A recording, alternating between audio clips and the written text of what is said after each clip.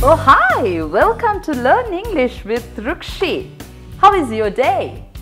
Today, we are going to talk about something interesting, but I'm tired today. I was cleaning this whole thing since morning, so I feel a bit tired, but it's alright. As you are at my place, let's talk about another interesting lesson today. I am, or the contraction I am. Now, we can use I am මේ මේ පොඩි වාක්‍ය කණ්ඩය යස් කරලා අපිට පුළුවන් අපිට feel වෙන විදිිය අපිට දැනෙන විදිිය ගැන තව කෙනෙක්ට කියන්න. එහෙම නැත්තාං මාව තව කෙනෙක්ට විස්තර කරන්න. මගේ ගැන තොරතුරු කියලා. So I can describe myself using I am or I am or I can tell about some facts about me to someone using I am. I am. Let's see how we do that. I am tired. I am excited. What is excited? ഉദ്യോഗയൻ pirilaine.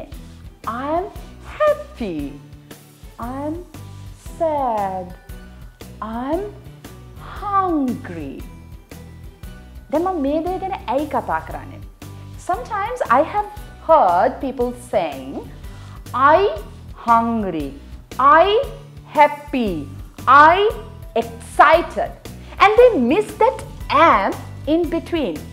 I know that it's a very little thing but learn it the right way. Learn the basics first because every little thing matters. So next time when you want to describe your feeling, ඔයාට ඕනෙ නම් ඔයාගේ හැඟීමක් විස්තර කරන්න එහෙම නැත්නම් ඔයා ගැන කාට හරි කියන්න use the shortest phrase in English with an additional word to it. I am hungry. I am happy. I am sad. I am tired. And then you can add to it like using very, super, terribly, so මේ වගේ words දාලා we can describe it more. Okay? Like this. I am super excited. උද්‍යෝගයට වඩා වැඩියෙන් උද්‍යෝගයෙන් ඉන්නේ. I am super excited. I'm very happy. I'm terribly hungry. I'm so sad. Okay, I hope you learned something today.